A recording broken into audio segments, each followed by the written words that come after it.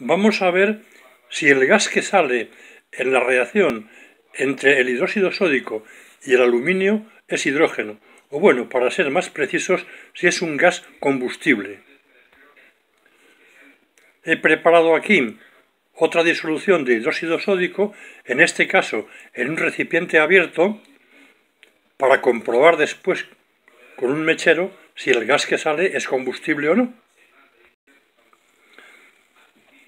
Estoy añadiendo la disolución que había preparado previamente en un vaso para que tengamos la superficie del líquido lo más elevada posible.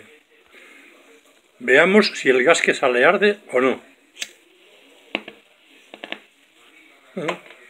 Y tanto que arde, incluso podríamos decir que se forman pequeñas mini explosiones.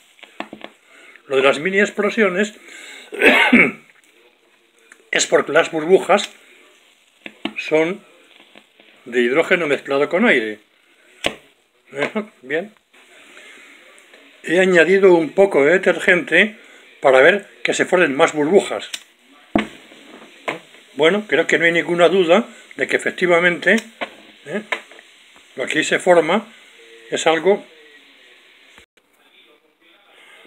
Es evidente que no he podido demostrar que el gas que se ha formado es hidrógeno, pero ¿qué otra cosa se podría formar con lo que hemos utilizado?